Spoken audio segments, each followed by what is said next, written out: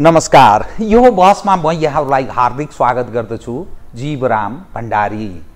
आज यहाँहरू सामुने उपस्थित हुनुहुन्छ प्रदीप ग्यावाली।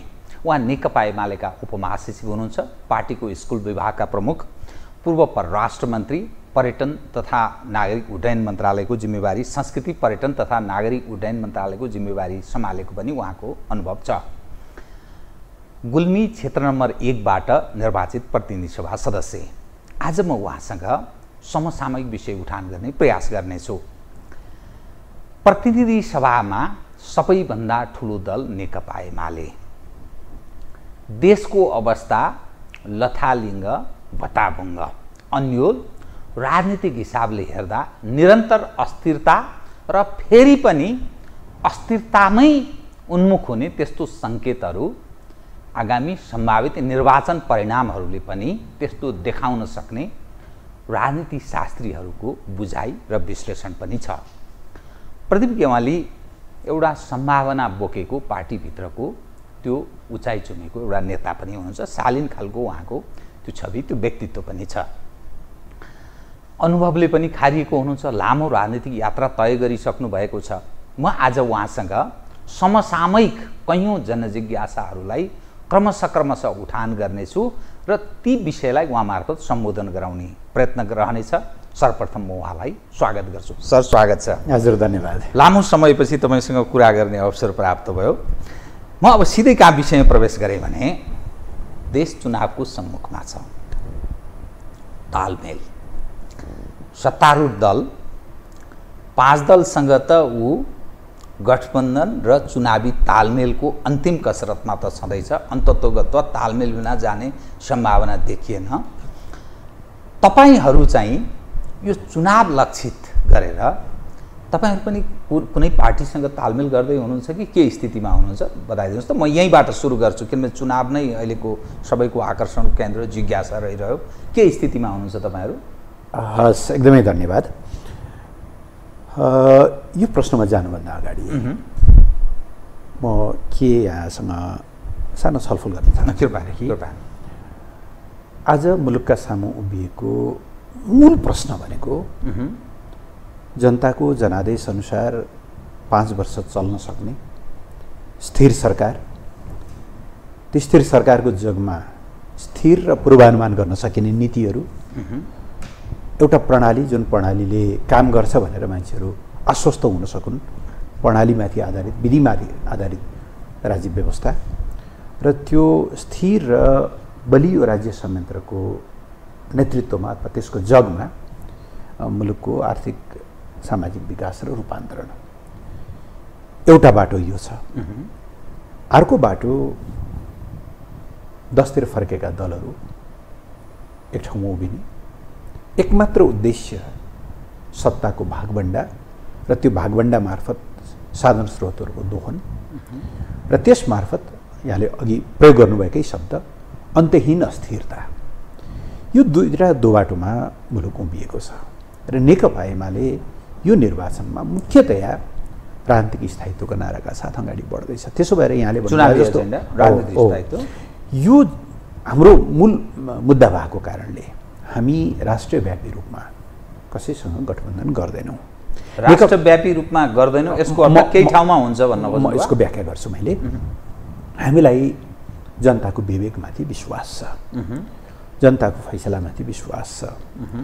त्यस कारणले गर्दा जनता वाक्क दिक्क भएका छन् यो सत्ताको भागभन्डाबाट भन्ने हाम्रो विश्लेषण छ। त्यसो भएको हुनाले त्यो सरकारको पक्षमा त्यो पार्टीको पक्षमा उनीहरू उभिनेछन् जसले एउटा बलियो र स्थिर सरकार दिन सक्छ। त्यसो भएको हुनाले हामी मूलत आफ्नै खुट्टामा उभिएर लड्छौँ। यसो भनिरहँदा कहीँ कतै कुनै निर्वाचन क्षेत्र विशेषमा कुनै जिल्ला विशेषमा जहाँ हामी एकदमै कमजोर छौँ त्यहाँ अर्को साथी छ उसँग हाम्रा एजेन्डा मिल्छन्। यो खालि जस्ट चुनाव जित्ने कुरा मात्रै भएन। उसँग यदि एजेन्डा मिल्छन् भने ल नि त तपाईँलाई एउटा क्षेत्रमा हामी सहयोग गर्छौँ अर्को क्षेत्रमा तपाईँले हामीलाई सहयोग गर्नुहोस्। भन्ने ढङ्गले हुन सक्ने स्थानीय तालमेलका लागि हाम्रो ढोका खुल्ला छ। तर जुन गठबन्धनको कुरा गर्दै हुनुहुन्छ नि आफ्नो सिद्धान्तलाई सिरानी मुनि लुकाएर आफ्नो घोषणापत्रलाई खल्तीभित्र हालेर त्यसपछि बस सत्ताको बाँडफाँडका प्रयोजनका लागि गरिने गठबन्धन नेकपा एमाले गर्दैन। यसमा अलिकति खुलेर बताइदिनुहोस् है। त राष्ट्रिय प्रजातन्त्र पार्टीसँग चुनावी तालमेल धेरै ठाउँमा हुन सक्ने त्यो राप्रपाका नेतृत्व पङ्क्तिका मानिसहरूले देशव्यापी रूपमै चुनावी तालमेल हुन्छ भन्ने आशयका साथ धारणा व्यक्त गरेको देखिन्छ। अर्थात् राजेन्द्र लिङ्गदेनले नेतृत्व गरेको पार्टी दुई कमल थापा हिजोका दिनमा सूर्य चुनाव चिन्हमा स्थानीय तहको चुनावमा उनको पार्टी सहभागी भयो र भोलिका दिनमा उनीसँग के हुने र रविन्द्र मिश्रको पनि यसो चर्चा आयो। तपाईँको पार्टी अध्यक्ष ओलीजीसँग उहाँले भेट्नुभयो। काठमाडौँ क्षेत्र नम्बर एकमा नेकपा एमाले रविन्द्र मिश्रलाई सुनाउने सघाउने कुरा पनि आयो यो पनि। र यससँगै तपाईँले जुन राजनीतिक स्थिरता स्थायित्वको जुन कुरा गरिरहनु भएको छ दुईवटा प्रसङ्ग आउँछ। स्थानीय तहको चुनावमा तपाईँहरूको पार्टी पहिलो पार्टीको रूपमा देखियो भन्ने मान्ने आधार कमजोर छ। भोटको हिसाबले देखियो। तर सङ्ख्यात्मक हिसाबले तपाईँहरूको पार्टी दोस्रो पार्टीको रूपमै देखियो। र हिजोका दिनमा तपाईँहरूलाई म्यान्डेट जनताले दिएको थियो तर पाँच वर्ष चलाउन सक्नु भएन। ओलीजी फ्लप हुनुभयो यस मानेमा भन्ने आशयका साथ विभिन्न ढङ्गले त्यो प्रश्न उठ्ने ठाउँ छ। त के आधारमा यो राजनीतिक स्थिरता स्थायित्व र राप्रपासँगको तपाईँहरूको विषय के हो बताइदिनुहोस् त? पहिलो कुरा अलिक खुल्नु जरुरी छ। राप्रपासँग राप्रपाले अहिले उठाएका कतिपय उसका सरोकारका विषयहरू उसले उठाइरहेका कतिपय विषयहरू सकारात्मक छन् भन्ने हामी ठान्छौँ। खास गरेर राष्ट्रियताको मामलामा उसले उठाइरहेका कतिपय विषयहरू सुशासनका मामलामा उसले उठाइरहेका कतिपय विषयहरू सकारात्मक छन्। तर स्पष्ट लक्ष्मण रेखा पनि छ। उहाँले उठाउने उठाइरहनु भएको हिन्दू राज्य या चाहिँ राजतन्त्रको पुनस्थापनाको एजेन्डासँग हामी सहमत छैनौँ। राज संस्था र हिन्दू राष्ट्रको एजेन्डा एजेन्डा सहमत हुनुहुन्न अरू विषय अब संहिताको बारेमा हाम्रो भनाइ के हो भनेदेखि संहिताका पछि पछिल्ला अभ्यासले मान्छेलाई वाक्क दिक्क भएको छ खास गरेर प्रदेश सरकारहरूका पछिल्ला क्रियाकलापले। तर पनि हामी के ठान्दैनौँ प्रदेश सरकारको पछिल्लो क्रियाकलापले कि केन्द्रले प्रदेश अर्थात् प्रदेश सरकारलाई असहयोग गरेको कारण। होइन। बिल्कुलै होइन। सैद्धान्तिक जस्तो अठार उन्नाइसजना मन्त्री हिजो सातजना छजना अलु मिनिमम भन्नुहुन्छ भने त शङ्कर पोखरेलले जम्मा छजना आफू सहित छजना मन्त्री राखेर चलाउनु भएको थियो। डोरमणिजीले सातजना राखेर चलाउनु भएको थियो। त्यसरी चल्दासम्म प्रदेशको बारेमा धेरै प्रश्नहरू उठेनन्। तर आज तपाईँ सङ्घीय मन्त्री परिषद चाहिँ पच्चिसजनाको प्रदेश मन्त्री परिषद उन्नाइसजनाको यो पनि कुनै ऱ्यासनल छ यसको पछाडि। यी कतिपय क्रियाकलापले संहिताप्रति मान्छेहरूमा खास गरेर प्रदेश सरकार प्रदेश ढाँचाप्रति मान्छेलाई वाक्क दिक्क चाहिँ भएको छ। तर यति हुँदाहुँदै पनि हामी के ठान्दैनौँ भनेदेखि संहिताको बारेमा पुनर्विचार गर्ने बेला भयो। र अब एउटा कार्यकाल पनि एक किसिमले भन्यो भने प्रदेश सरकारले पुरा गरिसकेका छैन। अनि हरेक पाँच पाँच वर्षमा यो राज्यको संरचना र प्रणालीको बारेमा चाहिँ प्रयोग गर्दै जाने नेपाल चाहिँ गिनी पिक जस्तो हुने। यो कुरासँग हाम्रो सहमति छैन। त्यसबाट अहिले हामी संहिता खारेजी होइन कि संहितालाई सुदृढ गर्नुपर्छ र संहिताका नाममा भएका विकृतिहरूलाई चाहिँ खारेज गर्नुपर्छ भन्नेमा छौँ। सो संहिताको बारेमा पनि उहाँहरूसँग कतिपय प्रश्नहरू मिल्दैन। तर एउटा कुरा जुन ढङ्गको यो पछिल्लो गठबन्धन गठबन्धनले गरेका कतिपय क्रियाकलापहरू प्रति उहाँहरूको जे खालको चाहिँ असन्तुष्टि असहमति र केही राष्ट्रिय मुद्दाहरूमा जे कुराहरू उहाँहरूले गरिरहनु भएको छ त्यसमा हाम्रा केही मिल्दाजुल्दा विषयहरू छन्। त्यस कारणले कतिपय ठाउँमा स्थानीय तहमा राप्रपासँग सहकार्य हुने कुरालाई मैले अस्वीकार गर्दिनँ। तर हामीले हेर्नुपर्ने के छ भने राप्रपा आज संसदभित्र यदि संसदको उपस्थितिको कुरा गर्नुहुन्छ भने राष्ट्रिय दल पनि होइन। एकजना सांसद हुनुहुन्छ प्रतिनिधि सभा सदस्य। तिन प्रतिशत पपुलर भोट नआएको कारणले त्यो एउटा दलको रूपमा रहेन भनौँ राष्ट्रिय राजनीतिक दलको रूपमा। त्यो पनि अझै विभाजित भएको छ। उहाँहरू अहिले सङ्गठन विस्तारको क्रममा हुनुहुन्छ। भोलि सङ्गठन विस्तार हुँदै पनि जाला। त्यस कारणले गर्दा राष्ट्रव्यापी रूपमा भन्ने त उहाँहरूको स्ट्रेन्थको कारणले पनि सम्भव भएन। तर केही ठाउँमा उहाँहरूको प्रभाव छ त्यो निश्चित हो। त्यस्तो ठाउँहरूमा मैले अघि भनेको आधारमा यो निर्वाचन क्षेत्रमा हामी सघाउँछौँ। यो निर्वाचन क्षेत्रमा हामीलाई सघाउनुहोस् न त। भन्ने ढङ्गले सहकार्यहरू हुन सक्ला। कमल थापाजीको त झनै उहाँ अब पार्टी ब्रेक भइसकेपछि नयाँ पार्टी निर्माणकै प्रोसेसमा हुनुहुन्छ। उहाँहरूको राष्ट्रव्यापी प्रभाव कति छ? व्यक्ति यस सच।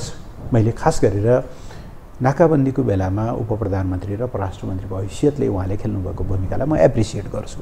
व्यक्तिको हिसाब व्यक्तिको हिसाबले। तर त्यो पार्टीले लिएका कतिपय अब अर्को पनि एउटा पोजिटिभ भनौँ उहाँहरूले आफूलाई राजतन्त्रको एजेन्डाबाट अलग गर्नुभएको छ।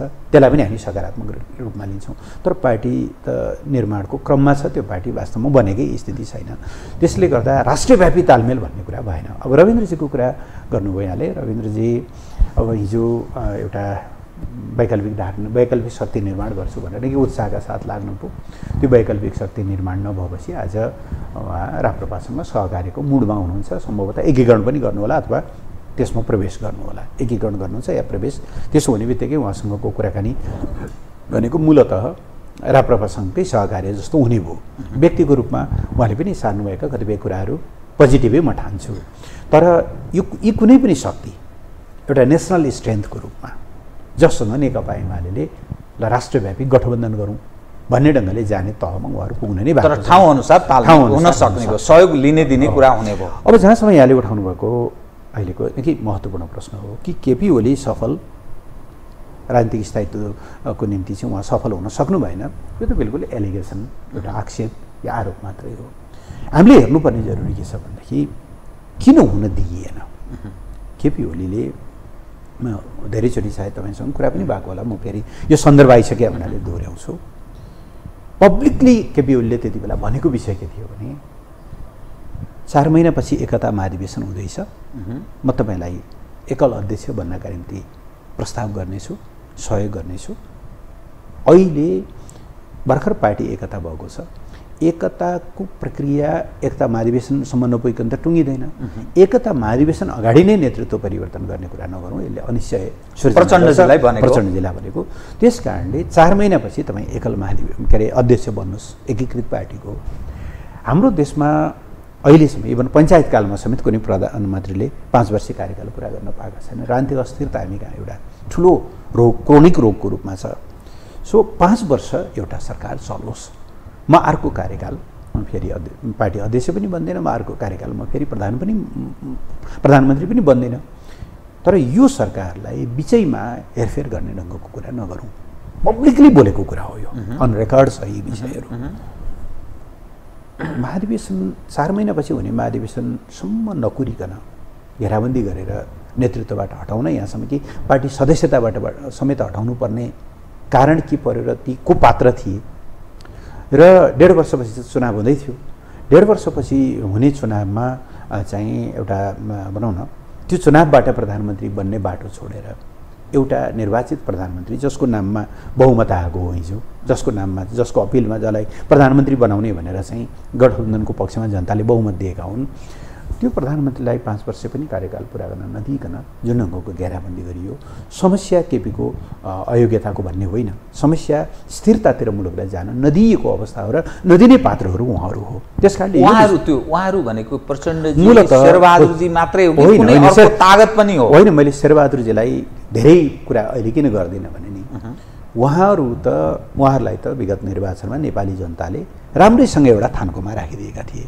तेइस सिटमा। तेइस सिटमा समानुपातिक गर्दा त्रिसठी सिट। जुन प्रमुख प्रतिपक्षसँग सामान्यतया प्रधानमन्त्रीको विरुद्ध अविश्वास प्रस्ताव ल्याउने एउटा स्ट्रेन्थ भइरहनुपर्छ भन्ने मानिन्छ ताकि चेक एन्ड ब्यालेन्स होस्। उहाँहरूसँग त प्रधानमन्त्रीको विरुद्ध अविश्वास प्रस्ताव ल्याउने एउटा चाहिँ पच्चिस प्रतिशत समेत थिएन। उहाँहरूले चाहेर यो सबै हुन्थेन। अर्थात् कमजोर थियो। कमजोर थियो। प्रमुख प्रतिपक्ष यो सबै कुरामा यो स्थिरतामा मुख्य पात्रहरू भनेको पुष्पवन्त दाहाल र माधव कुमार नेपाल नै हो। उहाँहरूलाई कसले ब्याकिङ गर्यो पछिल्ला घटनाक्रमहरूले धेरै कुराहरू। त्यो तपाईँ तत्कालीन परराष्ट्र मन्त्री हुनुहुन्थ्यो। केही सूचना तपाईँसँग थियो? जसका। कारणले यो बाहिरिनु पर्ने स्थिति आयो भन्ने केही लागेको छ भने सु- सुनाउ न होइन, यो चार पाँचवटा कुराहरू तपाईँले अहिले श्रृङ्खलामा हेर्नुहोस् है। बिपी कोइराला पन्ध्र सालमा दुई तिहाई बहुमतसहित प्रधानमन्त्री बन्नुभयो। भारतको पनि भ्रमण गर्नुभयो चिनको पनि भ्रमण गर्नुभयो। चिनको भ्रमण गरिसकेपछि उहाँले चिनसँग चाहिँ सीमा सन् सम्झौता गर्नुभयो जुन पछि महेन्द्रले त्यसलाई सीमा सन्धिमा कन्भर्ट गर्नुभयो।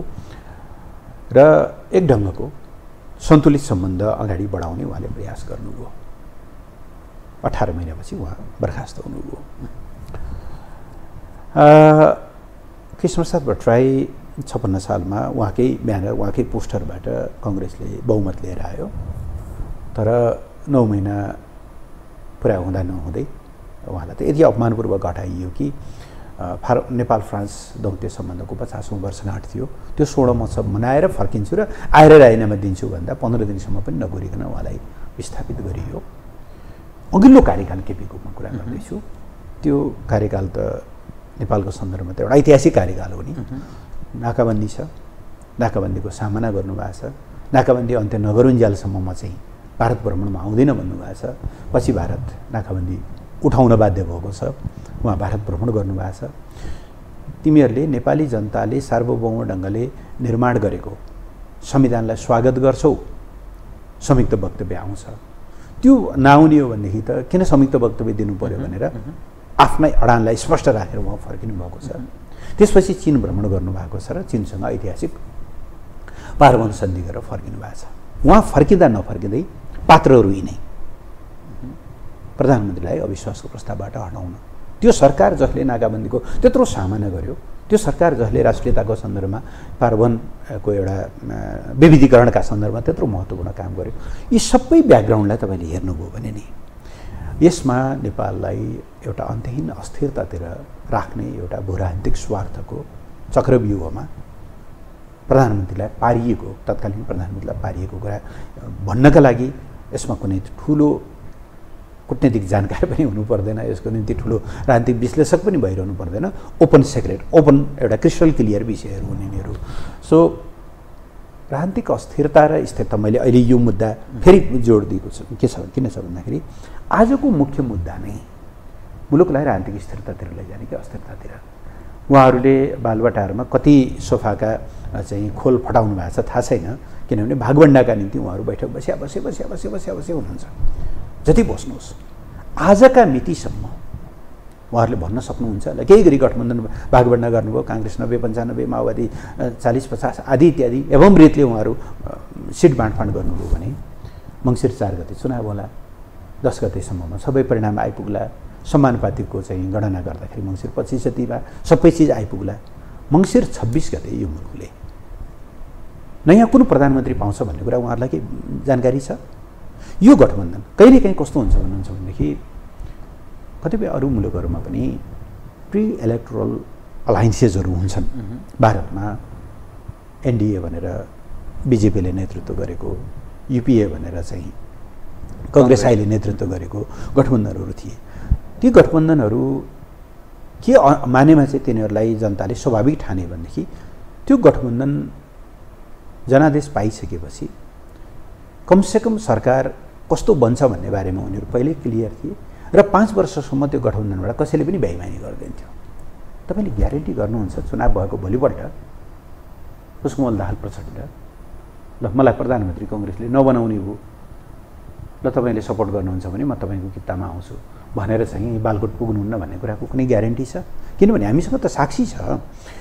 पोहोर चौहत्तर साल असोज सत्र गते हामीले राष्ट्रिय सभागृहमा वाम गठबन्धनको घोषणा गऱ्यौँ। वाम गठबन्धन मात्रै घोषणा गरेनौँ। पार्टी एकता गर्छौँ भनेर भन्यौँ। मङ्सिर दस र एक्काइसमा चाहिँ दुईवटा चुनाव भयो। बहुमत आयो गठबन्धनको पक्षमा। नेपाली काङ्ग्रेसकै एकजना नेताको भनाइलाई भन्ने हो भने बिस पटक उहाँहरू बैठक बस्नुभयो।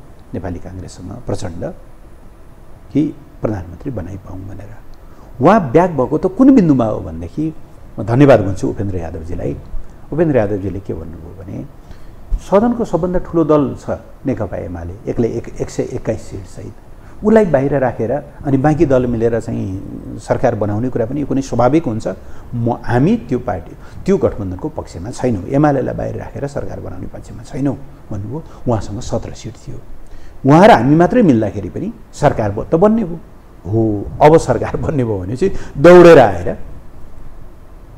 प्रचण्ड ल प्रधानमन्त्री केपी ओली बन्नुहोस् भन्ने ठाउँमा आइपुग्नु भएको पहिल्यै गठबन्धन गरेर पहिले चाहिँ के भन्दा भावी प्रधानमन्त्री तोकेर एउटै चुनावी घोषणापत्रमा लडेर जाँदा त यो तहका बेमानीहरू हुन्छन् भनेदेखि भोलि यो हुँदैन भन्ने छैन। त्यस कारणले आजको मूल मुद्दा नै राजनीतिक स्थिरता कि अस्थिरता भन्ने हो र हिजोको केपी ओलीले जे एउटा चाहिँ चुनौती सामना गर्नु पऱ्यो यसका पछाडि उहाँको चाहिँ कमजोरीका कारण होइन कि यो चाहिँ एउटा भूरान्तिक र नेपालभित्रका केही यस्ता पात्रहरू जो कहिले पनि सत्ताभन्दा बाहिर गर्न सक्दैनन् मोरल इमोरल जुनसुकै बाटो होस् यो चाहिँ सबभन्दा ठुलो चुनौती हो भन्ने म ठान्छु अर्थात् यसमा अलिकति खिपेर भन्दा बाह्य तागत जो पर्दा पछाडिबाट खेल्छ। त्यसले नेपालको आन्तरिक शक्तिलाई प्रयोग गर्यो जसको परिणाम यो हो भन्ने तपाईँको बुझाइ होइन। म तपाईँसँग यसै विषयमा अलिकति खिपेर विषय उठान गरेँ। मानिलिनुहोस् नेपाली काङ्ग्रेस माओवादी केन्द्र माधवजी लगायत उपेनजीहरू र बाबुराम भट्टराईहरू पनि तालमेल गरेर चुनावमा गए। भोलि मङ्सिर चारपछि देखिने निर्वाचन परिणामले नेकपा एमाले र प्रचण्डजीको पार्टी मिल्दा बहुमत सिद्ध हुने स्थिति आयो भने प्रचण्डजी बालकोट त जान्छन्। त्यसमा नेकपा एमाले उनलाई प्रधानमन्त्रीको रूपमा स्वीकार्ने वा उनको सहयोग लिने सम्भावना कतिको छ र नेकपा एमाले आगामी दिनमा भावी प्रधानमन्त्रीको रूपमा कसलाई प्रस्तुत गर्दैछ? यो किनभने उसले उसले यदि यो जुन गठबन्धन पक्ष छ पाँच दल उसले स्पष्ट खाका स्पष्ट व्यक्ति पहिचान गरेको छैन सार्वजनिक गरेको छैन भने नेकपा होइन को हो? होइन एमालेले त अस्ति केन्द्रीय कमिटीको बैठकबाटै केपी ओलीलाई उहाँको नेतृत्वमा जाने- प्रधानमन्त्री केपी। प्रधानमन्त्री घोषणा गरिसक्यो। त्यसमा जानै परेन। म तपाईँलाई दुईवटा फ्याक्ट राख्छु। फ्याक्ट नम्बर एक जति बेला एमसिसीमा को बारेमा सदनमा तातो बहस भइरहेको थियो। हामी त सुरुदेखि नै क्लियरै थियौँ त्यस मामलामा होइन? एकाध केही साथीहरूको देखि बाहेक माओवादी काफी चेपुवामा थियो त्यति बेला। उहाँहरूले एकातिर हामीलाई पाँच महिना समय दिनुहोस् हामी पास गर्छौँ भनेर प्रधान शेरबहादुर देउवा र प्रचण्डले एमसिसीलाई चिठी लेखिसक्नु भएको थियो गएको भदौमा पोहोर साल भदौमा। बाहिर दुनियाँलाई उहाँहरूले ढाँटिरहनु भएको थियो खास गरेर प्रचण्डले कि मैले त चिठी लेखेकै छैन र यो ज्यान गए पनि एमसिसी पास हुनेवाला छैन। शेरबहादुर अलि डिटर्मिन भएर आउनुभयो। उहाँले एमसिसी पास गर्छु भनेर सदनमा लिएर आउनुभयो। प्रचण्ड अप्ठ्यारोमा पर्नुभयो। अर्थात् चिठी पनि हामीले लेखेकै छ भनेर सार्वजनिक पनि पछि पछि पछि धेरैचोटि बाहिरबाट लिक भएपछि अनि इङ्ग्लिस दान दान देखाएर यो त अर्कै उद्देश्यले लेखिया थियो भन्नु उहाँले होइन। अब के भन्ने र अब यस्ता कुराको औषधि पनि हुँदो रहेनछ। लोकलाज भन्ने एउटा हुन्छ नि। अनि उहाँले बाहिरतिर त विद्यार्थीहरूलाई युवाहरूलाई उतारेर बानेश्वर चोक त पुरै चाहिँ एकदम अग्निमय बनाइरहनु भएको थियो। बोट बिरुवाहरू उखेलिरहनु भएको थियो ढुङ्गाहरू अ, फुटपाथहरू सबै चाहिँ तोडफोड गरिरहनु भएको थियो गाडीहरू तोडफोड गरिरहनु भएको थियो। भित्र उहाँहरू एउटा चेपुवामा हुनुहुन्थ्यो। त्यो भइसकेपछि एक दिन उहाँहरू आउनुभयो। केपी ओली बसेको ठाउँमा उहाँको कार्यकक्षमा। प्रचण्ड आउनुभयो र हामी दुई भाइ मिलेर एमसिसी फेल गरिदिउँ। म तपाईँलाई प्रधानमन्त्री भनेर जान्छु भन्नुभयो। अनि त्यति बेला के प्रस्ताव लिएर जानुभयो? प्रस्ताव बालकोट जानुभयो? होइन होइन त्यही सिम आइसिसीमा अन्तर्राष्ट्रिय सम्मेलन केन्द्र संसद भवनमा ओलीजीलाई त्यो प्रस्ताव प्रचण्डजीले प्रधानमन्त्री बन्नु या प्रधानमन्त्री बनाउनु? राजनीतिको अन्तिम ध्येय हुन्थ्यो भने यो गठबन्धन त त्यति बेला भत्किएको थियो नि त। तर हामीले यो ढङ्गको क्षुद्र अनैतिक र फोरी खेल खेल्न चाहेनौँ। खालि प्रधानमन्त्री बन्न या गठबन्धन भत्काउनका लागि।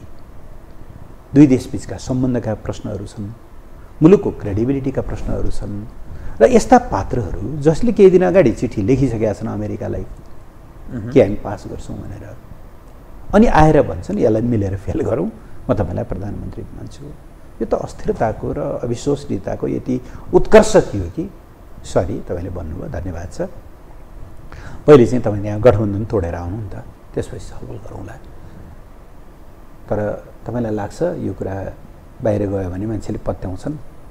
थोरै जवाफ दिनुभयो धेरै जवाफ दिनु भएन जोस् हामीले त्यो प्रस्ताव अस्वीकार गऱ्यौँ अर्थात् नेकपा एमाले आफू सरकारमा पुग्नैकै लागि या जे गरेर पनि सरकार हटाउँ भन्नका लागि। फोहोरी खेलमा जानेवाला छैन। अहिले अब तपाईँको प्रश्न त बढी काल्पनिक भयो। हामी त के कुरामा विश्वस्त भएर चुनावी अभियानमा छौँ भनेदेखि यी सबै घेराबन्दीका बावजुद नेकपा एमाले मेजोरिटी ल्याउँछ। तपाईँले कल्पना गर्नुभएको सन्दर्भ नै आउँदैन त्यस भएर कसैलाई हामीले प्रधानमन्त्री बनाउनु पर्ने या कोही हाम्रा लागि हाम्रो सहयोगका लागि हामीसँग सहयोग माग्नका निम्ति आउने कार्यकर्ता र एज अ आम जनलाई के कन्फिडेन्समा लिनलाई यो भन्नका लागि मात्रै कि? आधारमा? स्थानीय त चुनावले देखाउँदैन। मत परिणामले त्यस्तो देखाउँदैन। चुनावको- दुईवटा तस्बिर छ। कृपया तपाईँ मिडियाकर्मी साथीहरूलाई मेरो आग्रह छ दुईटै तस्बिर राख्नुहोस्। सिट सङ्ख्यामा हामी तल झरेको त यथार्थै हो नि त। तल पनि हिजो काङ्ग्रेस र हाम्रो बिचमा करिब तिस सिट जतिको अन्तर थियो। हामी दुई सय चौरानब्बेमा थियौँ कङ्ग्रेस दुई सय छसट्ठीमा थियो जस्तो लाग्छ होइन।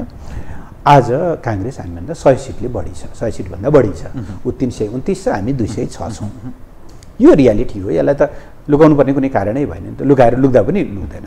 तर तर पपुलर भोटमा वडा अध्यक्षहरूले पाएको भोटको हिसाबले हामीले चौतिस प्रतिशत प्लस करिब एक प्रतिशत चौतिस दशमलव एक जस्तो छ। र कङ्ग्रेसले तेत्तिस प्रतिशत पाएको थियो यो रियालिटी हो नि त। दुइटै हो कि स्थानीय चुनावभन्दा तपाईँले सिट सङ्ख्या मात्रै गर्नु पनि भएन। तपाईँले ज जनमत मात्रै गर्नु पनि भएन। परिणाम सिट सङ्ख्याले दिन्छ। सही कुरा हो किनभने स्थानीय चुनाव भनेको फर्स्ट पास द पोस्ट हो। एक भोट ल्याए पनि गोला थुते पनि बढी ल्याए जस्तै ल्याइ नै हाल्यो। त्यस अर्थमा हामी दोस्रो हो त्यसमा त हामीले स्वीकार गरेकै छौँ। तर जनमत हाम्रो पक्षमा रह्यो। हाम्रा आफ्ना आन्तरिक का कमजोरीका कारणले हामीले कतिपय ठाउँमा उम्मेदवार ठिक ढङ्गले दिन न नसक्नुको कारणले कतिपय ठाउँमा उम्मेदवारको बिचमा रहेका असमझदारीलाई टाइमली त्यसलाई चाहिँ म्यानेज गर्न नसकेका कारणले कतिपय ठाउँमा कमिटीहरूले अलिकति जुन ढङ्गले काम गर्नु पर्थ्यो गर्न नसकेका कारणले हाम्रा आफ्ना आन्तरिक कमजोरीका कारणले हामीले सिट सङ्ख्या गुमायौँ। जनताले गर्नुपर्ने मायामा कहीँ कतै कमी रहेन चौतिस प्रतिशत मतले देखायो। त्यस कारणले यो चौतिस प्रतिशत मत अब अहिले हामीले भनेका छौँ हरेक पार्टी सदस्यलाई एमालेसँग अहिले पा आठ लाखभन्दा बढी बढी पार्टी सदस्य छन्। तपाईँहरूले पाँच लाख मत के पाँच मत प्रत्येकले सुरक्षित गर्नुहोस्।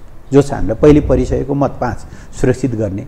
त्यसको अर्थ आठ पाँच सय चालिस लाख हाम्रो मत सुरक्षित भयो। प्रत्येकले दुई भोट थप्नुहोस् आठ दुई सोह्र लाख।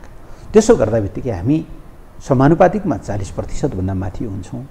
प्रत्यक्षतर्फ हामीले सय सिटको हाराहारी हाराहारीमा हाम्रो अहिलेको टार्गेट छ। अघिल्लोचोटि हामीले जम्मा सन्तानब्बे सिटमा सूर्य चिन्ह लिएर लड्यौँ। अस्सी सिट जितेका थियौँ। अहिले त हामीले बाँड्नुपर्ने छैन। हामी त एक सय पैँसठी सिट सिटमै लड्छौँ। अथवा पन्ध्र सिट तपाईँले मानिलिनुहोस् कि अरू कतिपय यस्ता सहयोगी दलहरूसँग चाहिँ सिट एरेन्ज भयो भने पनि एक सय पचास सिटमा लड्छौँ। एक सय पचास सिटमा लड्दा हामी सय सिटभन्दा बढी जित्छौँ। समानुपातिकमा हामी चालिस प्रतिशतभन्दा बढी ल्याउँदा हामी पचास पचासजनाभन्दा बढी हाम्रा समानुपातिक हुन्छन्। त्यसबारे हिजो अध्यक्षले टार्गेट तोक्नुभयो कि हामी एक सय पचास सिटसहित मेजोरिटीमा आउँछौँ भनेर। त्यस कारणले यो कुनै काल्पनिक कुरा होइन हामीले प्राप्त गरेको मत। र आज एउटा मनोविज्ञानको पनि कुरा गरौँ न अन्जिम रामजी उहाँहरूसँग अलरेडी पाँच दल त सधैँ थियो। पाँच दल सधैँ हुन्छ उहाँहरूलाई यही लागिरहेछ कि हामी पाँच दल पनि काफी छैनौँ एमालेसँग लड्न। त्यही भएर बाबुरामजी त्यहाँ जोडिनु पुग्नुभयो। के कुनै के समाजवादी पार्टी के के बनाएर छ दल? वामदेवजी पार्टी एकता गर्छु भन्दै हुनुहुन्थ्यो। एकता संयोजन समिति बनाउनु भएको थियो। उहाँ पनि त्यही जोडिनु भयो। सात दल। लोसपासँग पनि कुराकानी गर्दै हुनुहुन्छ आठ दल। यसले के बताउँछ? आत्मवश आत्मविश्वास छ उहाँहरूसँग एमालेसँग एक्लै लड्छु भन्ने। मनोबल छ एमालेसँग एक्लै लड्छु भन्ने। म त डराएको होइन घ्याम्पो मात्रै हल्ल्या हो भने जस्तो होइन अहिले गठबन्धनका नेताहरूको मनोविज्ञान। घ्याम्पो हल्ल्या हो कि उहाँहरू डराएको त्यो त दुनियाँले बुझ्लान्। तर पाँच दल हुँदाखेरि पनि एमालेसँग एक्लै लड्न सकिँदैन भनेर दलमाथि दल दलमाथि दल जो थप्दै हुनुहुन्छ अनि उहाँहरूले पहिलो कुरा चुनाव जित्नुहुन्छ कसरी? दोस्रो त्यो जितको पनि अर्थ हुन्छ कि एकछिनको निम्ति? भवितव्य भएर उहाँहरूले जित्नुभयो भने जसले मङ्सिरको चुनावको परिणाम आएको भोलिपल्ट प्रधानमन्त्रीको हो भन्ने कुरा चाहिँ हिसाब गर्न मतलब त्यो एउटा जनतालाई भन्न सक्नुहुन्न। अनि कसरी हुन्छ यो? तपाईँहरूको यो एक दुईवटा चाहिँ अलिक स्पष्टै नै होस् है। यो तराई केन्द्रित ठानिने पक्षहरूसँग पनि केही तालमेलका अथवा एकले अर्कालाई सहयोग आदान प्रदान गर्ने विषयमा कुनै कुरा भएको जस्तै लोकसभा होइन हामी सामान्यतया भन्नुहुन्छ भने सिद्धान्तको कुरा गर्छु म।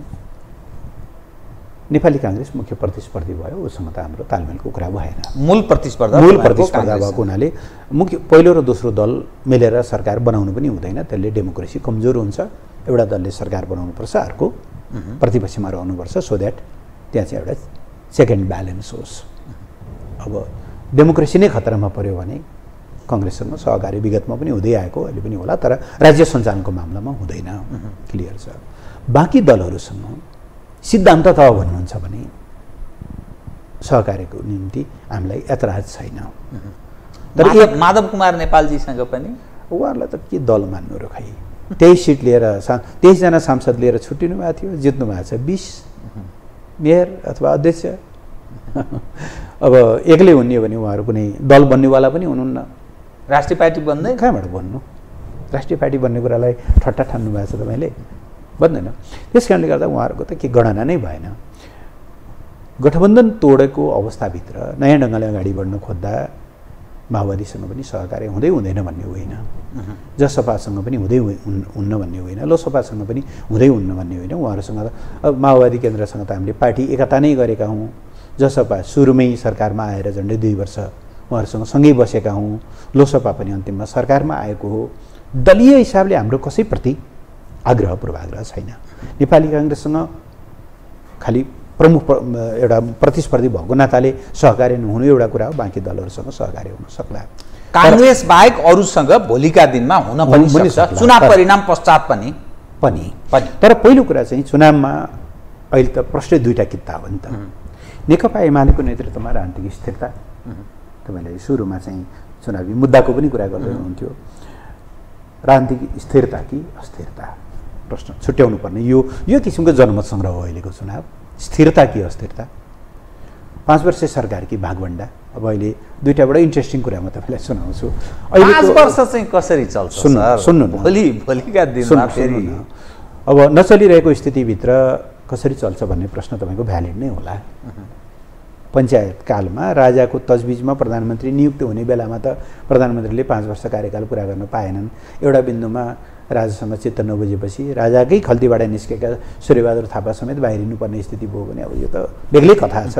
हामी वास्तवमा अस्थिरताको र एउटा नेपाल एस राज राष्ट्र एस सच बन्ने त्यो एउटा आत्मनिर्भर हुने त्यो चाहिँ त्यसकोले साँचो अर्थमा सार्वभौम अधिकारहरूको प्रयोग गर्ने उसको स्वतन्त्रता साँचो अर्थमा जब तपाईँ जति जति बेला अभ्यास गर्नुहुन्छ त्यति त्यति बेला भित्र बाहिर अनेकौँतिरबाट यो राजनीतिक अस्थिरताको कुरा गर्दा यसको म- म- सर्जक संविधान हो कि राजनीतिक दलका नेतृत्व पङ्क्तिको अयोग्यता हो कि या यो व्यवस्था हो? म त्योभन्दा म पहिल्यै प्रश्नमा जान्छु। त्यस कारणले गर्दाखेरि चाहिँ प्रश्न के हो भने मुलुक एउटा जनमत सङ्ग्रहको बिचमा छ। राजनीतिक स्थिरता कि अस्थिरता? मैले एउटा उदाहरण सुनाउँदै थिएँ तपाईँलाई। अस्ति समाचार पढ्नु नै भयो होला यहाँले। कर्णाली प्रदेश सभाका सबै माओवादी सा प्रदेश सभा सदस्यहरूले यो पाँच वर्षको दरमियान पालो पालो मन्त्री बनेर कोही पनि मन्त्री बन्नबाट बाँकी रहेन। भाग पुग्यो। भाग पुग्यो।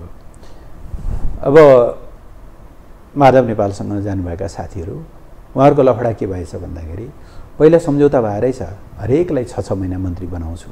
र सबैलाई पालो अब माधव नेपाललाई परेन होला जगन्नाथलाई परेन होला। अब बाँकी सबैलाई चाहिँ हामी छ महिने मन्त्री बनाउँछौँ। एउटा लोकगीत छ नि। काला कुर्तैले छ महिने जागिरे खाया काला कुर्तैले भने जस्तो। काला कुर्तैले छ महिने जागिर खाने योजना रहेछ। अब रामकुमारीजीहरूले आठ महिना खाइदिनु भयो। अर्का पक्ष साथीहरू मुरमुरिए। बिचमा एकचोटि उहाँहरूको बिचमा छलफल चलेको थियो। चुनाव फाग्नुसम्म धकेलौँ होइन? त्यसो भएपछि अर्कोको पनि भाग पुग्छ भनेर। राजनीति त्यहाँ छ क्या। यो कि एउटा प्रष्ट पाँच वर्ष चल्ने सरकार दोस्रो। राष्ट्रिय स्वाभिमान कि एक किसिमले आत्मसमर्पण। कसैका लागि कम्फोर्टेबल सरकार भइदिने कि? देश र जनताको हितमा काम गर्दै जाने त्यसो गर्दाखेरि अब जे पर्छ बेहोर्ने। यी प्रश्नहरूका सामु मुलुक उभिएको छ। त्यस कारणले गर्दाखेरि हामी भोलि कसलाई प्रधानमन्त्री बनाउँछौँ बनाउँदैनौँ आदि इत्यादि र तपाईँको जे मनमा जिज्ञासा छ कि यस्तो घेराबन्दीको बिचमा एमाले चाहिँ चुनाव जित्छ त अथवा बहुमत ल्याउँछ त आदि इत्यादि तपाईँका प्रश्नहरू हुन् तर रियालिटी त्योभन्दा फरक छ।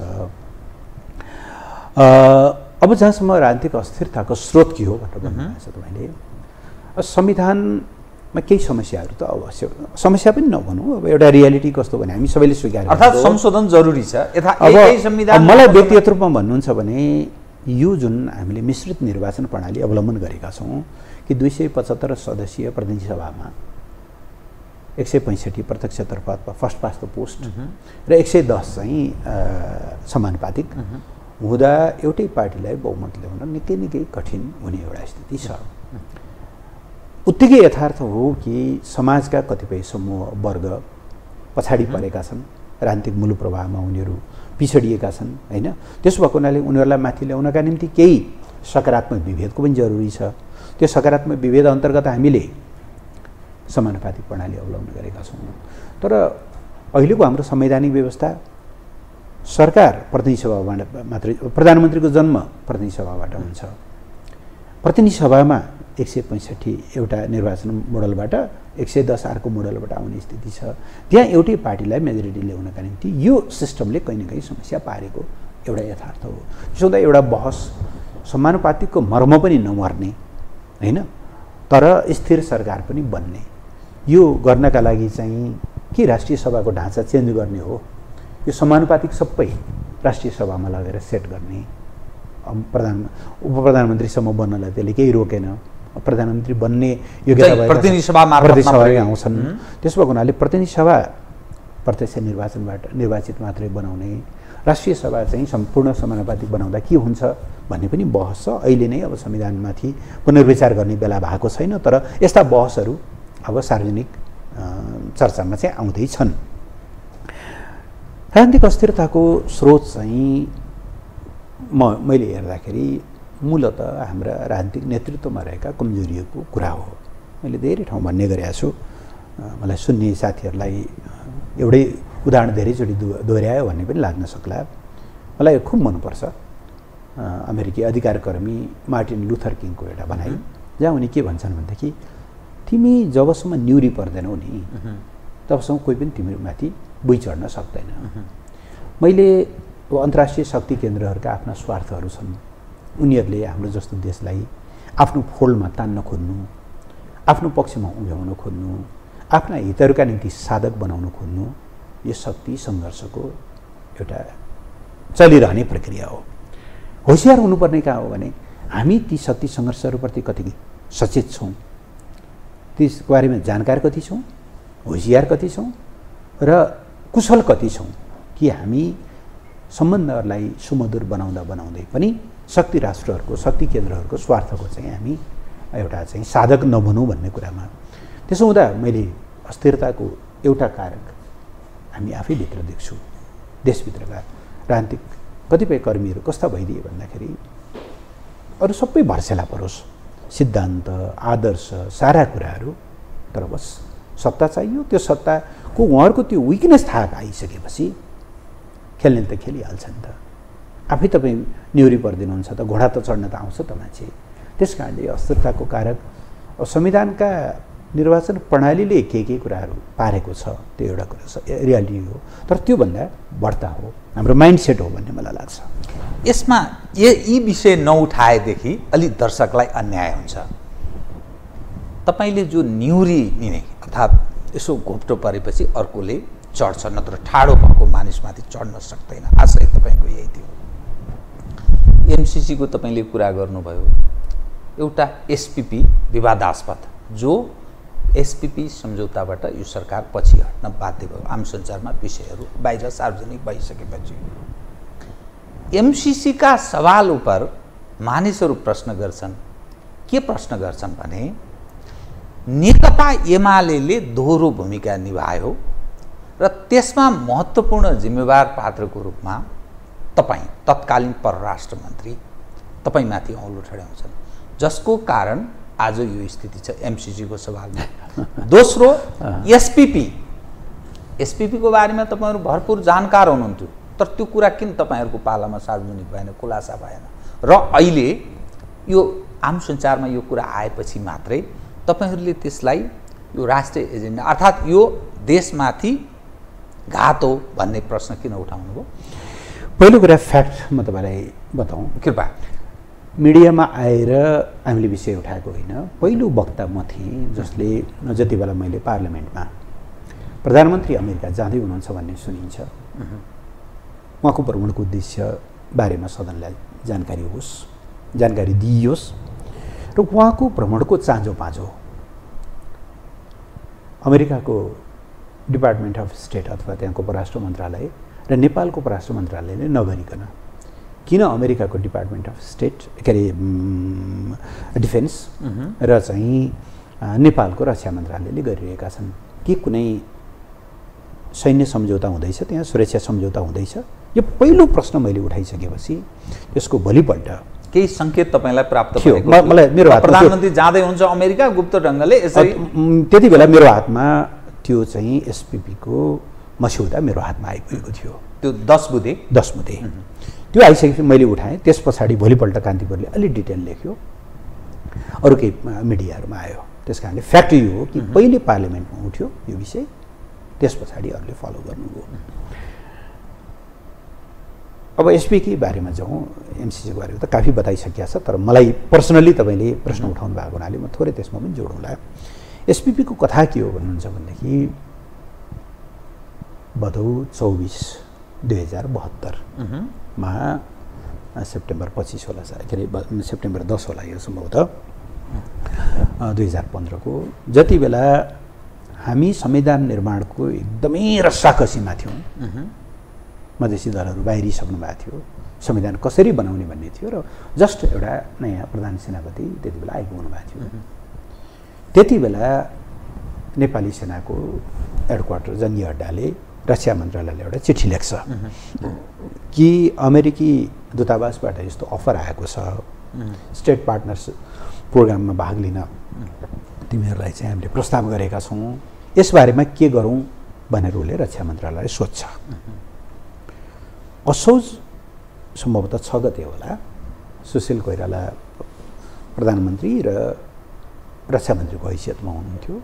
त्यो रक्षा मन्त्रालयबाट अब मन्त्री स्तरको निर्णय हो या सचिव स्तरको निर्णय हो भने ठ्याक्कै त्यो अहिले याद भएन। तर जे होस् रक्षा मन्त्रालयबाट के चिठी जान्छ भने त्यो चिठीको भाषा नै म तपाईँलाई बताउँछु।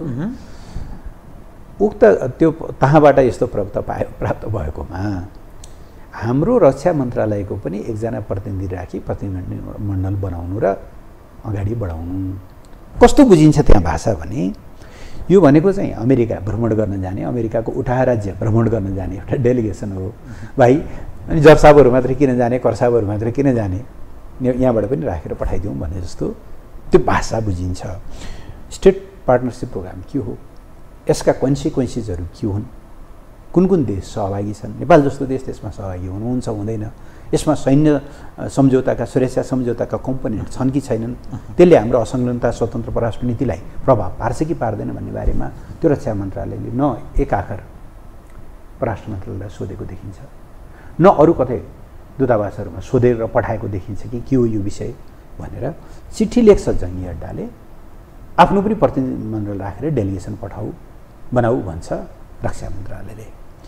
त्यसपछि त्यही बिचमा सरकार परिवर्तन भयो। प्रधानमन्त्री आउनुभयो केपी शर्मा ओली त्यस बिचमा रक्षा मन्त्रालयमा कुनै कारवाही भएको छैन प्रधानमन्त्री कार्यालयमा कुनै कारवाही भएको छैन। जानकारी त थियो तपाईँहरूलाई? जानकारी छैन। प्रधानमन्त्रीले भन्नुभएको विषय यो विषयमा मलाई कसैले जानकारी गराएको छैन। जानकारी गराउन आवश्यक पनि किन ठानेन होला भन्दाखेरि पहिले अलरेडी रक्षा मन्त्रालयले कन्सेन्ट दिइसकेको छ।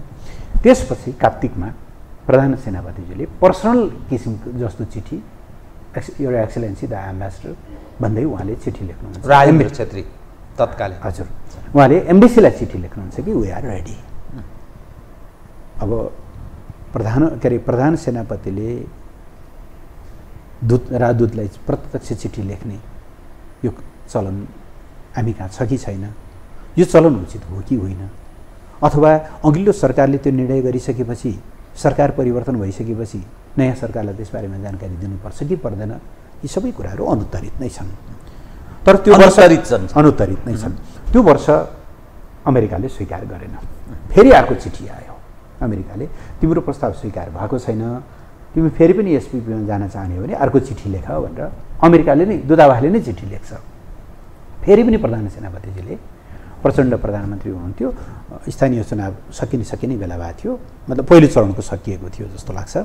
अनि अब पहिलो चरणको चुनाव सकिएपछि शेरबहादुर प्रधानमन्त्री बन्ने कुरा थियो।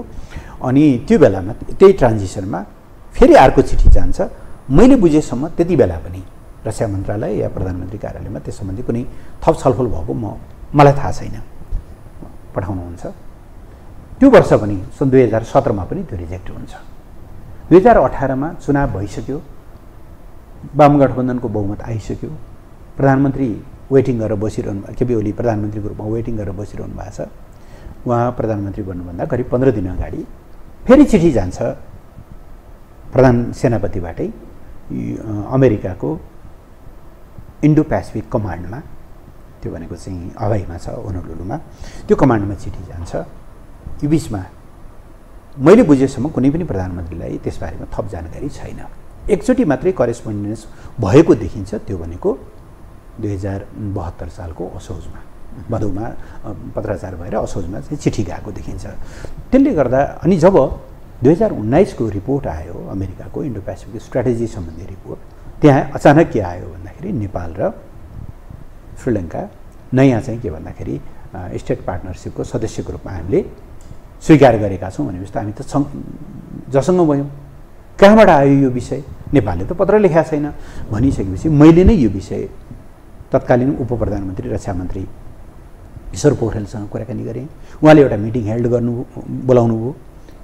रक्षा मन्त्री गृहमन्त्री र परराष्ट्र मन्त्री हामी बस्यौँ। सचिवहरूलाई बोलायौँ र एउटा कार्यदल बनायौँ।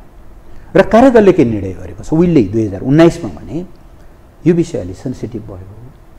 हाम्रो कार्यदलले पूर्ण रूपले अध्ययन गरेर चाहिँ यसबारे अनि रिपोर्ट दिएर सरकारले यसबारेमा आधिकारिक निर्णय नगरुन्जेलसम्म यस सम्बन्धी कुनै करेस्पोन्डेन्सहरू अगाडि नबढाउने कुनै काम अगाडि नबढाउने भनेर हामीले त दुई हजार उन्नाइसमै होल्ड राखेको। तपाईँ भन्दै हुनुहुन्छ। कि हिजो तपाईँहरूले चाहिँ थाहा पाएर पनि केही गर्नु भएन। होल्ड त हामीले गऱ्यौँ अब फरक के भयो भन्नुहुन्छ भने त्यति बेलासम्म त जस्ट उसले एउटा नेपाल स्टेट पार्टनरसिप प्रोग्रामको एउटा सदस्य भयो भनेर एउटा रिपोर्ट मात्रै दिएको थियो। अहिले जुन कागज पछि त बाहिर पनि आइहाल्यो। जुन कागज तपाईँको हातमा आयो अहिले त अब त्यसको माई बाप कोही पनि छैन। मैले लेखेको मेरो मस्यौदा भनेर कोही भन्नेवाला भागाभाग छन् सबै। भागाभाग छन् होइन? तर त्यो प्रस्ताव तपाईँ आफै कल्पना गर्नुहोस् नेपाल जस्तो देशका लागि नेपाल जस्तो देशमा त्यो लेभलको चाहिँ के भन्दाखेरि प्रस्तावमाथि छलफल गर्ने धृष्टता कसले गर्यो होला? त्यो मसौदा सर्कुलेट गर्ने नै धृष्टता कसले गर्यो होला? यो धेरै सिरियस हो। त्यस पछाडि त्यस कारणले गर्दा मैले नै त्यो ड्राफ्ट हात पारिसकेपछि पहिला यो के हो भनेर भने अनि भोलिपल्ट चाहिँ मैले पर्सिपल्ट होला दुई दिन पछाडि फेरि त्यो मस्यौदा नै सा सार्वजनिक राखेर नेपालले अनि अमेरिकी स्टेट गार्डका लागि नेसनल गार्डका लागि चाहिँ जग्गा उपलब्ध गराउनु पर्ने उनीहरूका बेसहरू बस्ने त्यो पनि उत्तरी छिमेकीतिर त्यस पछाडि चाहिँ त्यहाँ उनीहरूको लागि सबै सुरक्षा हामीले दिनुपर्ने जमिन उपलब्ध गराइदिनु पर्ने उनीहरूका जहाज उड्न पाउने उनीहरूको लागि हवाई मैदान उपलब्ध गराइदिनु पर्ने अथवा बनाउन ठाउँ दिनुपर्ने र यो विषयमा कहीँ कतै तपाईँले अन्तर्राष्ट्रिय अदालतमा मुद्दा पनि हाल्न नपाउने तेस्रो पक्षलाई ल्याएर सेटल पनि गर्न नपाउने। के नेपाल यो बाटोमा जान खोजेको भनेर सिरियसली उठाइसकेपछि धेरैले यो विषय उठाउनु भयो संसदमा उठ्यो मिडियाहरूले उठाएपछि सरकार अब हामी अगाडि बढ्दैनौँ भन्नु त्यस कारणले यसमा नेकपा एमालेको भूमिका कहाँनिर कमजोर देख्नुभयो तपाईँले? जेनरलाइज गर्नु हुँदैन। सबै उस्तै हुनु भन्ने सन्देश दिनुहुन्न तपाईँहरू मिडियाहरूले। एक। अब एमसिसीको बारेमा मैले काफी बोलिसकेँ। एकदम सर्टमा बताइदिनुहोस् त सर्टमा भन्दाखेरि एमसिसी प्रोजेक्ट एज सचको कुरा गर्नुहुन्छ भने त्यो आर्थिक परियोजना नै हो। अब आर्थिक परियोजना दिइरहँदा यो अहिले जुन जुन ढङ्गले एमसिसी भयो यसबाट राष्ट्रघात हुँदैन। अर्थात् कुनै मैले हेर्दाखेरि हुँदैन। हुँदैन। एसपिपी भएको भए चाहिँ त्यो त्यस पछाडि त्यो- त्यसले चाहिँ सैन्य सम्झौतातिर लैजान्थ्यो। एमसिसीका सम्झौता आफैमा कुनै सैन्य कम्पोनेन्ट छैन। अब त्यसो गरिरहँदा अमेरिकाले सहायता दिँदा नेपालबाट के अपेक्षा गरेको छ? त्यो सहायता दिए बापत उसले के फाइदा लिन चाहन्छ र त्यसमा हामी लतारिन्छौँ कि लतारिन्नु त्यो त हामी माथिको कुरा हो। मैले तपाईँलाई दुःख परेको बेलामा अलिकति सहायता गरेँ भनेदेखि तपाईँले पर्सनली मप्रति थ्याङ्कफुल हुने कुरा एउटा हो। तर मैले त्यो सहयोग दिए बापत मैले तपाईँलाई चाहिँ के भन्दाखेरि अनुचित ढङ्गले दबाब दिन्छु कि दिन्न र तपाईँले दबाब तपाईँको र मेरो चाहिँ खालि लेनदेन सम्झौता मात्रै हो। यो लेनदेन सम्झौताभन्दा बढ्ता म कुनै कुरामा पनि म जवाफदेही छैन है भनेर तपाईँले भन्न सक्नुहुन्छ कि सक्नुहुन्न त्यो त बेग्लै कुरा भयो। तर प्रोजेक्ट एज सच भन्नुहुन्छ भनेदेखि त्यो आर्थिक विकास अब दुई दुई दुई प्रश्न म एकैचोटि गरेको समयले मलाई साथ दिएन कि त्यसकारण। एक नागरिकता विधेयक विचाराधीन अवस्थामा संसदमा छ समितिमा छ। राष्ट्रपति प्रमुख प्रतिपक्षी दल नेकपा एमालेको भूमिकासँग सन्तुष्ट हुन नसकेको कुरा आम सञ्चारमा आएको छ। नेकपा एमाले यो नागरिकता विधेयकको सवालमा के धारणा राख्छ? एक दोस्रो यतिखेर संसदको समितिमा प्रधान न्यायाधीशको महाभियोगको विषय छलफल बहस उहाँ हिजो जानुभयो समितिमा। त्यहाँ उहाँले धेरै कुराहरू स्पष्ट गर्ने प्रयास गर्नुभयो। उहाँले के कुरा पनि भन्नुभयो भने म तत्कालीन प्रधान न्यायाधीश रहेको बेलामै तत्कालीन प्रधानमन्त्री केपी शर्मा ओलीलाई यी न्यायाधीशहरू बदमास छन् यी वकिलहरू दलाली गरिरहेका छन्। सचिनु जरुरी छ। यस आशयका साथ मैले विषय उहाँलाई भनेको थिएँ तर उहाँले त्यति महत्त्व दिनु भएन र फलत आज न्यायालय यस्तो कन्तबिजोग छ र गलत मानिसहरू हाबी भएका छन्। अर्थात् चलखेल न्यायालयमा छ। त महाभियोगको सवालमा नेकपा एमाले प्रधान न्यायाधीशको सवालमा चोलेन्द्र शमशेरको सवालमा कहाँ उभिन्छ? यो दुईवटा कुराको अलिक क्लियर होस् कृपया। राष्ट्रपतिको नागरिकता विधेयकको सवालमा पनि स्पष्ट होस् र यो महाभियोगको यो पछिल्लोबाटै म सुरु गर्छु। एक यो मुद्दामा यो प्रश्नमा हामी प्रधान न्यायाधीशको न पक्षमा छौँ न विपक्षमा छौँ। हामी तर खुल्नुपर्छ आउँछु नै आउँछु नै। हामी विपक्षमा छौँ त गठबन्धनको नियतको। किनभने यो यदि उहाँहरूले भने जस्तो प्रधान न्यायाधीशले गलत आचरण गरेका हुन् उनी अक्षम हुन् र उनलाई महाभियोगबाट हटाउनु पर्ने आवश्यकता थियो भन्ने उहाँहरूको निष्कर्ष हुन्थ्यो भने नम्बर एक उहाँहरूलाई थाहा छ उहाँहरूको दुई तिहाई पुग्दैन। दुई तिहाई पुग्नको निम्ति नेकपा एमालेको साथ अनिवार्य हुन्छ। समस्या धेरै जटिल भयो। यस्ता यस्ता यस्ता यस्ता प्रश्नहरू देखिए आउनुहोस् न्यायालय सुधार गरौँ। उहाँहरूलाई थाहा छ नेकपा एमालेको सहयोग बिना पास हुँदैन। उहाँले एक आकार कुनै छलफल नै गर्नु भएन। एकदम छापामार शैलीमा उहाँहरूले महाभियोग दर्ता गराउनु भयो।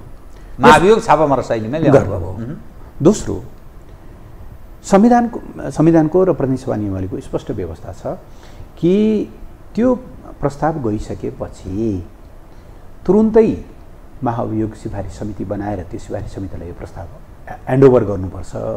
र त्यो समितिले तिन महिनाभित्र छिनोफानो लगाइसक्नुपर्छ। महाभियोग लगाउनु पर्ने पर्याप्त आधारहरू छन् भने त्यो आधारसहितको प्रतिवेदन प्रतिनिधि सभामा ल्याउनुपर्छ। छैनन् भने पनि छैनन् भन्ने प्रतिवेदन ल्याउनुपर्छ। फागुन एक गते यो महाभियोग दर्ता भयो सदनमा। फागुन एक्काइस गते होला सम्भवतः हामीले हाम्रो तर्फबाट यद्यपि हाम्रो सदनमा अरू विरोधहरू थियो तर त्यति हुँदाहुँदै पनि विशेष सिरियस हो हामीले यसमा चाहिँ सहभागी हुनुपर्छ भनेर हाम्रो तर्फबाट चारजना हुनुहुन्छ जस्तो लाग्छ। हामीले सिफारिस समितिमा हाम्रा साथीहरूको नाम दियौँ मान्यजीहरूको नाम दियौँ। छ महिनासम्म उहाँहरूले गुन्द्री लुगाएर राख्नुभयो। नेवारीको व्यवस्था छ तिन महिनामा टुङ्ग्याउ। छ महिनासम्म गुन्द्री लुगाएर राख्नुभयो। र कति बेला ल्याउनु भयो? जति बेला चुनावको मिति घोषणा भइसकेको छ। असोज दुई गते समानुपातिक सूचीतर्फको समानुपातिक तर्फको सूची बुझाइसकेपछि संसदको म्याद सकिन्छ। तिन महिना यो समितिलाई म्याद पुग्दैन। तर पनि उहाँहरूले अगाडि बढाउने धृष्टता किन गर्नुभयो भने यसको एकमात्र मकसद प्रधान न्यायाधीशलाई कामकाज गर्नबाट रोक्नु थियो। र हिजो प्रधान न्यायाधीशले भनिसकेपछि आशंका प्रबल भयो कि केही मुद्दाहरू थिए सेन्सिटिभ मुद्दाहरू। ललिता निवासमा माधव कुमार नेपाल र बाबुराम भट्टराई जोडिएको नामै बताइदिनु भयो नामै बताइदिनु भयो उहाँहरूले। उहाँहरूसँग जोडिएको एउटा मुद्दा थियो। दोस्रो चौधजना सांसदहरू जसलाई हामीले कारवाही गरेका थियौँ तर समयमा सभामुखले चाहिँ सूचना टाँस नगरेका कारणले र चाहिँ निर्वाचन आयोगले त्यसलाई नोटिसमा नलिएका कारणले त्यो हामीले कारवाही गरेका सांसदहरूको टाउको गनेर नयाँ दल दर्ता भएको थियो। यो गलत हो भनेर हामीले अदालतमा मुद्दा हालेका थियौँ। त्यो मुद्दाको पेसी नजिकिएको थियो। यी दुईवटा मुद्दामा नेकपा एमाले भने जस्तो भएको भएदेखि चाहिँ के हुन्थ्यो? अथवा मतलब ती मुद्दाहरूमा अदालतले निष्पक्ष फैसला गरे भए के हुन्थ्यो? यसका परिणाम के आउँथ्यो तपाईँलाई थाहा छँदैछ। बस यही कुरा रोक्न एउटा चाहिँ दुराशयका साथ गठबन्धनले लिएर आएको हो। महाभियोग दुराशय हो। दुराशय हो। दुराशयका साथै दुराशयुक्त छ। किन गरेको भएदेखि प्रधान न्यायाधीश यति खराब मान्छे हुन् र उनलाई हटाइहाल्नुपर्छ भन्ने भएको भए छ महिनासम्म कसैले राख्छ? बदमास मान्छे हो भने त छिटो कारवाही गरेर छिटो हटाएर नयाँ मान्छेलाई प्रधान न्यायाधीश पक्षमा उभिने कि होइन। सबभन्दा पहिले त यो प्रोसेसमा क्लियर हुनु पर्यो।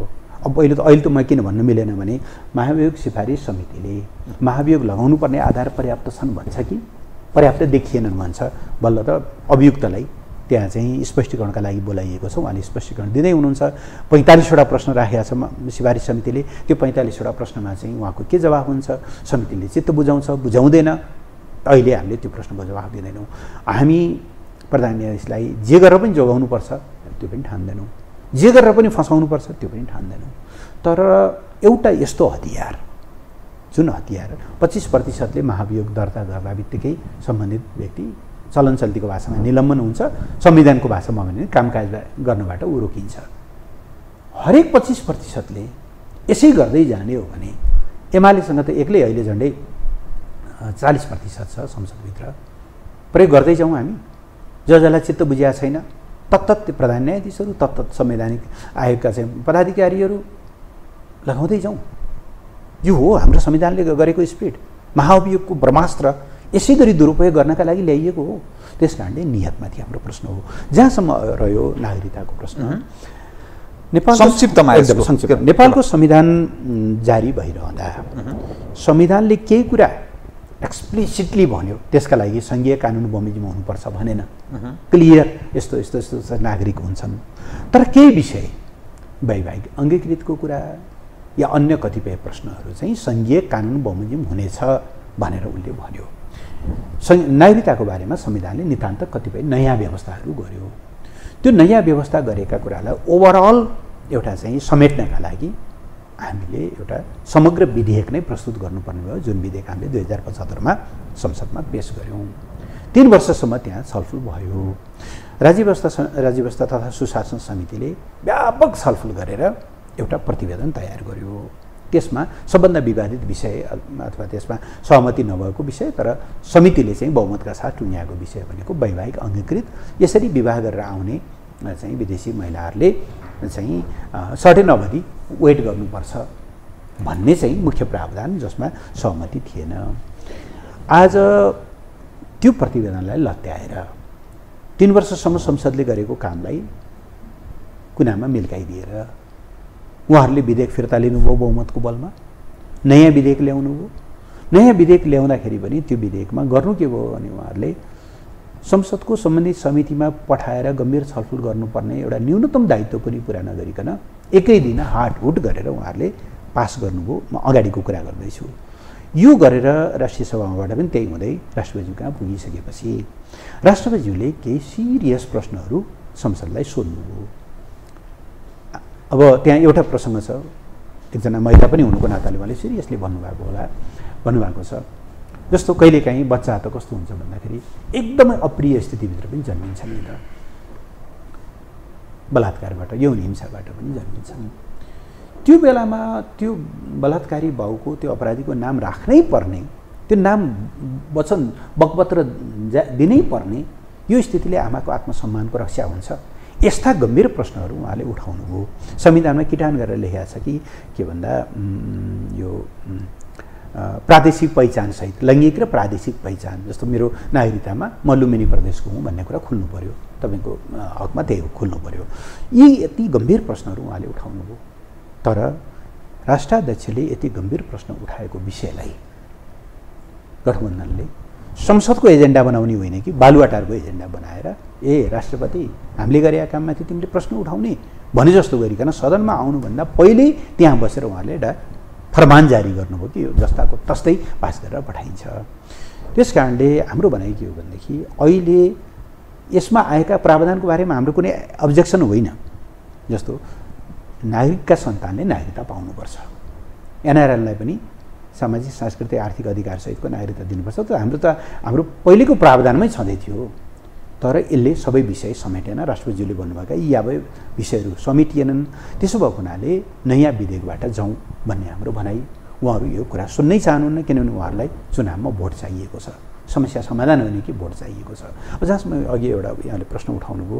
राष्ट्रपतिज्यू पनि के अरे प्रतिपक्षको भूमिकासँग सशक्त भूमिका नागरिकताको अब यो त मलाई थाहा भएन होइन? उहाँले अब त्यस्तो हाम्रो डेलिगेसनसँग पनि त्यस्तो भन्नुभएको छैन म त जान पाइनँ त्यस दिन तर त्यो भने जस्तो लाग्दैन होइन? तर जे भए पनि हाम्रो भनाइ के छ भन्दाखेरि एज अ राष्ट्रको अभिभावक उहाँले उठाउनुभएका प्रश्नहरू भ्यालिड छन्। ती भ्यालिड प्रश्नलाई संसदले पुनर्विचार गर्नु पर्थ्यो। तर गठबन्धनको बहुमतको बलमा। नगर्ने छाँटकाँट देखिन्छ। त्यो त त देखियो नि? अब? प्रतिनिधि सभामा त उहाँहरूले सुन्दै सुन्नु भएन। अब के गर्ने? राष्ट्रिय सभामा उहाँले समितिमासम्म दुई दिन पठाइदिनु भयो। समितिमा पनि हाटुट गरेर उहाँले पठाउनु भयो। त्यस पछाडि त मलाई लाग्छ राष्ट्रपतिजीसँग अप्सनहरू सीमित हुन्छन्। किनभने उहाँले एकचोटि फिर्ता पठाउने उहाँको संवैधानिक अधिकारको कुरा हो। त्यस पछाडि पनि संसदले जस्ता तस्तै अथवा सुधारसहित पठायो भने सायद त्यसलाई उहाँले प्रमाणीकरण गर्नुपर्छ। नगरे सुधार। नगरी जस्ता जस्तै गरे। अब राष्ट्रपति सुझाव तपाईँको अब त्यसमा मैले केही कमेन्ट गर्न चाहन्न किनभने राष्ट्राध्यक्षले संविधानको दायराभित्रै रहेर गर्ने। यो लडाइँ लड्ने राष्ट्राध्यक्षले भन्दा पनि हामी राजनीतिक दलहरूले हो हामी लडाइँ लडाउँला नि त। राष्ट्राध्यक्षलाई यहाँभन्दा थप मतलब अप्ठ्यारोमा पार्नुहुन्न भन्ने मलाई लाग्छ। धन्यवाद आदरणीय दर्शकवृन्द उहाँ हुनुहुन्थ्यो प्रदीप गेवाली। नेकपा एमालेका उपमहासचिव तथा प्रतिनिधि सभा सदस्य। समसामयिक विषयलाई केन्द्रमा राखेर गरेको कुराकानी। म सहित मेरो सम्पूर्ण युनिटलाई कार्यक्रमबाट बिदा दिनुहोस् र यो टेलिभिजन हेर्दै रहनुहोला। नमस्कार।